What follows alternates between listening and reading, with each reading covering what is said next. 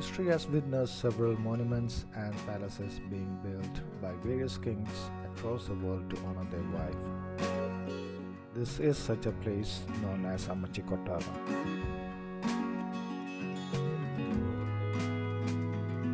Situated in Peerumade, Kerala, is on the list of one of the places to visit when you come down to Peerumade.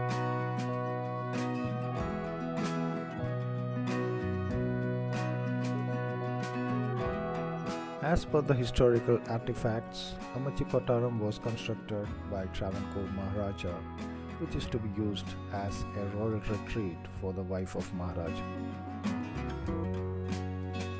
Don't expect this to be a well-maintained structure, at least not when I visited.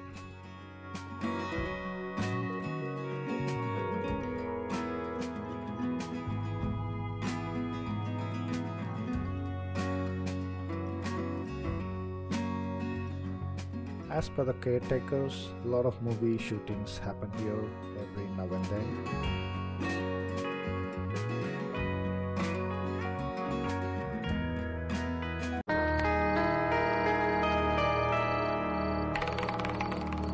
No, you won't get that feel here.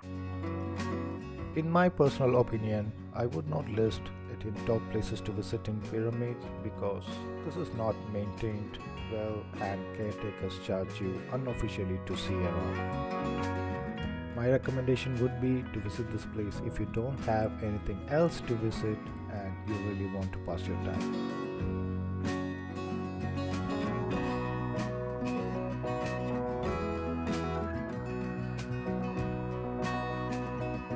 No doubt this would have been a wonderful attraction if it was maintained well and had showcased items used by the royals.